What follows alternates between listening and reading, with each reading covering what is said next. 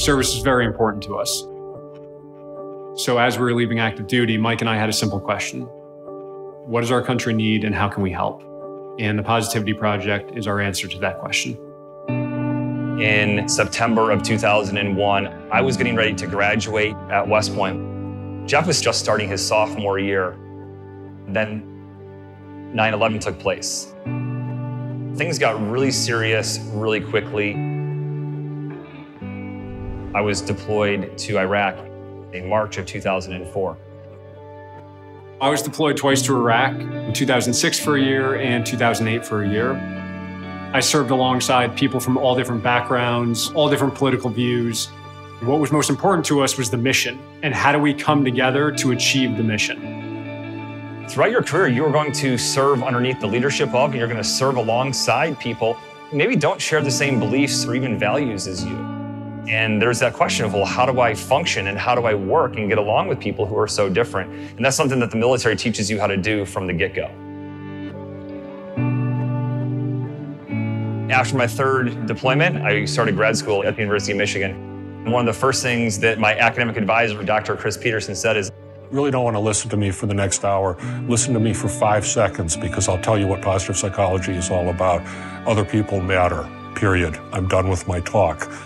Chris led a team of 40 PhDs over a three year period to understand what is character and how does it manifest in our lives.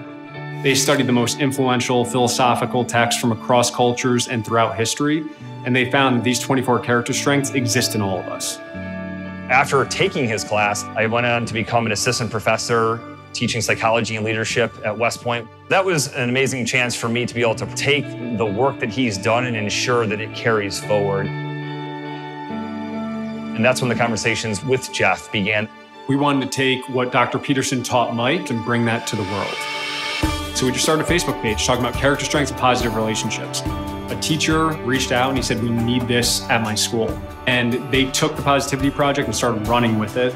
We started with one partner school in 2015, and since then, we've grown to over 800 partner schools across the country.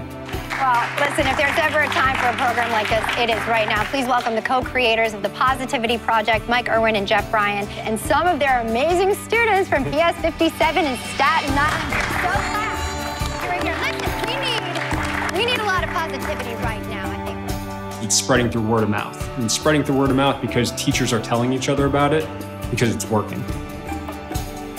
57% of our students made honor, high honor, or principal honor in the first quarter. Our attendance rate is up, our discipline data is down. I don't think it's a coincidence. I think kids are starting to feel better about themselves. They feel valued. They're starting to understand who they are. More importantly, they're starting to understand the, the, their classmates around them of who they are. We're in education because we care about kids and we love kids.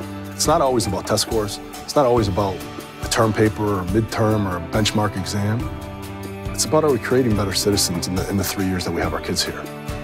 But then it was like, until I started realizing I was doing the things my trait said. I started being more brave. I started making people happy. I thought about this isn't useless, it's not stupid, because I'm actually doing the things it says. Like, I'm showing these character traits.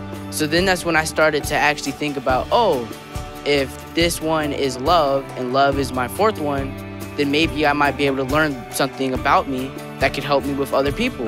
So then that's when I started to actually start paying attention, start being more engaged, helping other people, and that's when I really started to like Positivity Project. We love the Positivity Project because it focused on relationships and the fact that other people matter. And we know that our kids, if we want them to be successful, our students, we have to teach them how to build positive relationships.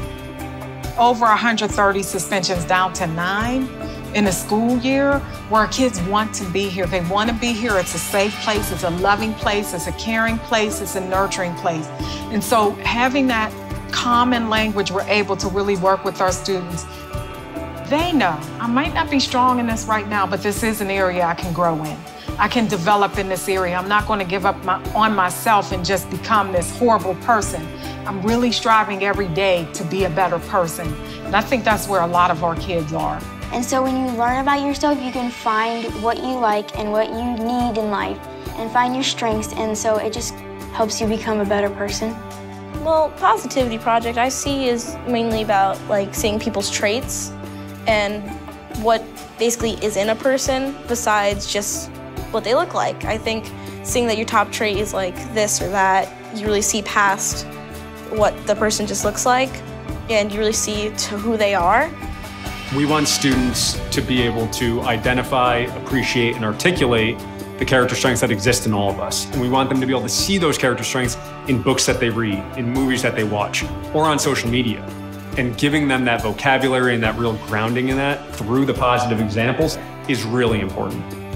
We do want you to learn reading, writing, and arithmetic, but you have to set the learning conditions. And that means having the right classroom culture, the right climate, the right organizational culture at the school level. And that's what the Positivity Project is. It's a strategy to help drive positive organizational culture at the school level. We've been very fortunate to build out a great team of educators. Many of these educators come from our partner schools, and as they retire as principals or as teachers, they join the Positivity Project. So we have these great educators who are building out the resources and making sure that they are applicable to students from pre K all the way to grade 12 It's an ongoing process of listening to educators who are constantly helping to hone and to refine the content. Transparency is very important to us. That's why we incorporate families through P2 for Families. We want parents to be engaged in this learning with their children. This is not just a mission that we believe in for the good of all of America's youth, but certainly both of us as parents. As a parent, I'm always thinking about what kind of world I want to help create for my children. And to be honest, I'm scared about what's going to happen in the future. But I believe that if we can build a world where people understand who they are, who other people are, and can build positive relationships that cut across differences, that's going to be the kind of world that I want for my kids. We believe that the Positivity Project and what we teach in it is something that everyone can agree on. Everyone wants people to have more integrity, more kindness, more bravery, at the end of the day, it is about helping other people to live more positive, more effective, more healthy, successful lives. If every individual could build positive relationships in their lives and tap into their character strengths, we're going to have stronger communities and a stronger country.